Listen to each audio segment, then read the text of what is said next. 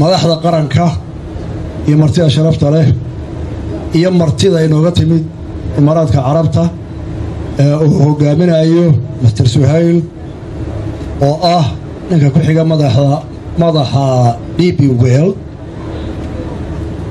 guddoomiyaha baarlamaanka iyo guddoomiyaha maxkamadda dhammaan wasiirada iyo mudanka iyo mudakarka somalilan ee fadhiya ka soo qayb galay xafladdan. Assalaamu calaykum waraxmat ullaahi wabarakaatu marka hore walaalayaal qaran ahaan waxaynu u mahadnaqaynaa dowladda imaaraadka carabta iyo madaxdooda.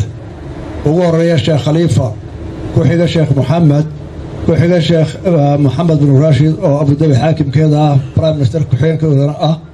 Waxaan ugu mahadnaqaynaa waxay ahayd dowladda ku soo dhiiratay somalilan inay maalgashi intaa leeg samayso oo ay dalkeenna tusto caalamka inuu yahay dal deggen oo wax lala qaybsan karo oo lala shaqaysan karo oo lagu aamini karo xoolaha iyo hantida intaa iyo dadkoodaba. Aad iyo aad baan ugu mahadnaqnaa dowladda imaaraadka carabta inay tallaabada ugu horreysay dalalka caalamka oo dhan.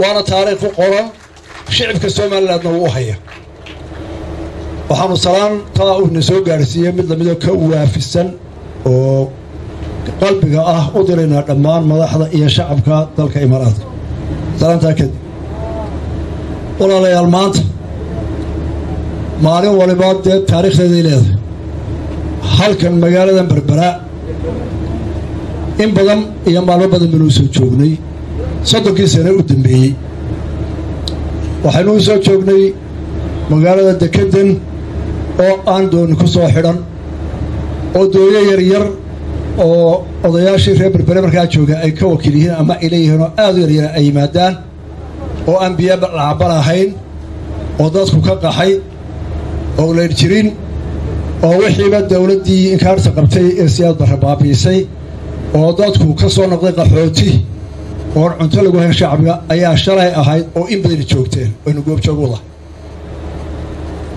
waxaynu goobjoog u ahayn afar sano ka bacdi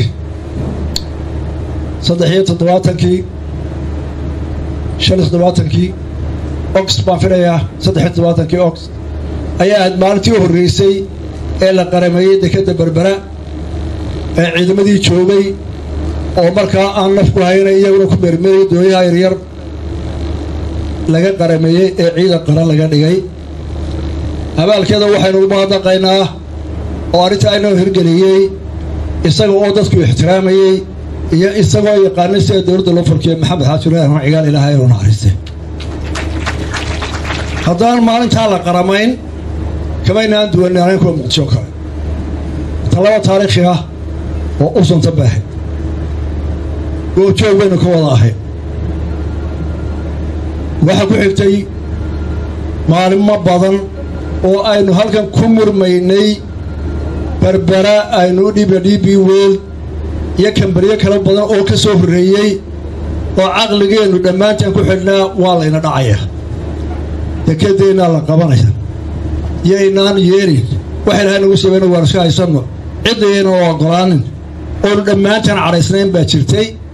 La yaab maynaan lahayn dadku markay dagaallada galaan markay wareeraan markaay duruuftu ka badatay iyo dhimashada iyo qaxu maskaxdoodu waxay noqotaa keligii u hurtaafo cid walba ka shakey waxba ka baqda shacabkeennii dhammaan markaan iska wadaro waxaynu u mahadnaqaynaa oo taariikhdaa keligii meel istaagay oo ku dagaalamay oonu kula wada dagaalanay oo maanta nooloo nala jooga saacad cali shire oo markhaatigeeda lahayd. Waxaynu u mahadnaqaynaa madaxweynihii iga horreeyey oo ahaa madaxweynihii arrintan keenay ee aad isaga hor yimid ku adkaystay ee fikradda aynoo hirgeliyey maanta. Taa berbere adduunka oo dhan majaranaya ay tahay fikradda uu keenana aad iyo aad baynu ugu mahadnaqaynaa. Maantana waa taariikh looynu joogno in dekadii la ballaarinaayo in ummadoo dhami berberi soo hibsanayso inay berberi tahay iftiin afrika oo dhan ka muuqda. Shalay saddex shan ka hor waxaa laga furay warshad batroolka sifaysa maanta waxaa laga furay afar boqol loo kordhinayo dekedii iyo wiishashka tiraduu tallaagyahay iyo kuwa soo socda. Haddaba maxaa inagu waajiba dadkeena? Somalilan oo dhan maxaa inagu waajiba inaynu ilaahay u mahadnaqno marka hore inaynu keenno caqligii aynu ummaddaasoo dhan ku hanan lahayn markaynu bini'aadmiga soo dhoweyno eenu wax la qaybsanno ee dadku inagu soo dhirdoyna aamino ayuun baynu horumar samayn karnaa. Tusaale dowladdan maanta waxaynu taraysa aynu u mahadnaqayno ee imaaraadka carabtu koob iyo toddobaatankii bay xorriyad qaateen. Koob iyo toddobaatankii waxaynu ahayn dowladda ugu xoog weyn afrika oo afar iyo toddobaatankii waxaynu martigelinnay dhammaan madaxweynayaasha afrika oo dhan. Goobjoog weyn badankeennu ahay haddii taariikhda dib loo raaco innaga iyo imaaraadka waxaynu wada gumaysan jiray ingiriiskii iyagu lama odhanin colony. United arab emirates may ahayn colony. May ahayn protectorate. Way ka sii fogaayeen. Waxaa la odhan jiray tutorial emirates.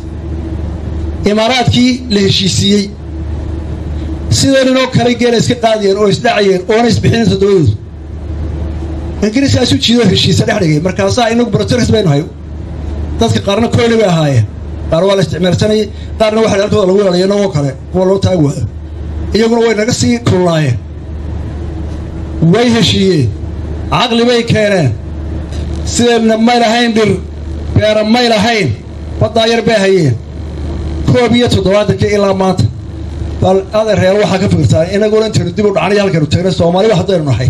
Meel kastaba joogo iyaguna halkay gaadheen inay siddeetan dekedoodoo caalamka ah iyagu xukumaan oo qaarad walba ah oo kuwii adduunka ugu casrisanaaya nimankii shalay lahaa waa tutoriya waddada isoo jiiday badwaana. Innagaa shalay lahaa waa bado carabtu.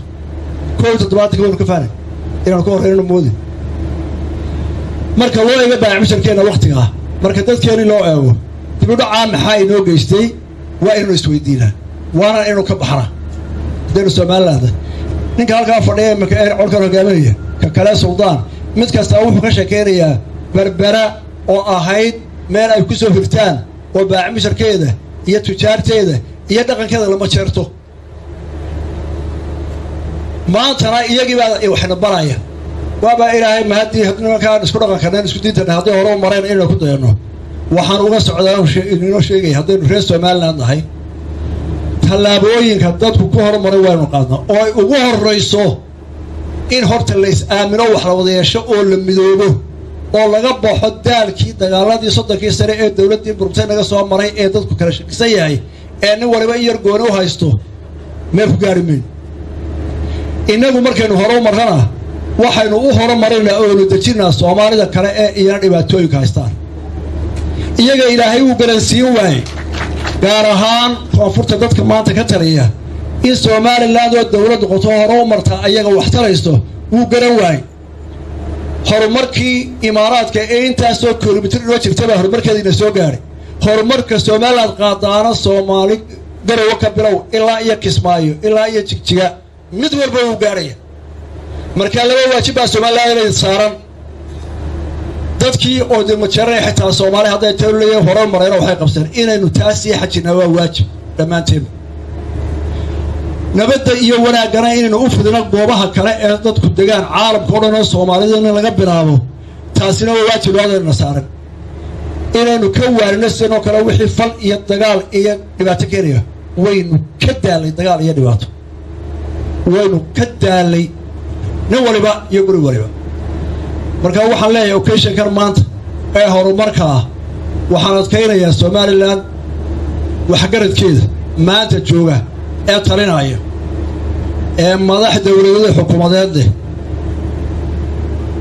ee madax dhaqan leh ee madax culimo leh ee madax maalqabeen leh ee madax aqooneed leh ee tabcadayaasha aynu ku noolnahay ee miyiga joogee beeraha iyo xoolaha yar aynu ku noolay noo haya waxaynu doonaynaa walaalayaal inaynu ka baxno shakiga iyo kala shakiga iyo wax kala lahaanshaha oynu wax wada yeelanno oynu somaliland mid qura ah noqonno dabeetana aynu horumar raadsano cimiladu way isbeddelaysaa abaari way bateen xoolihii way soo yaraadeen.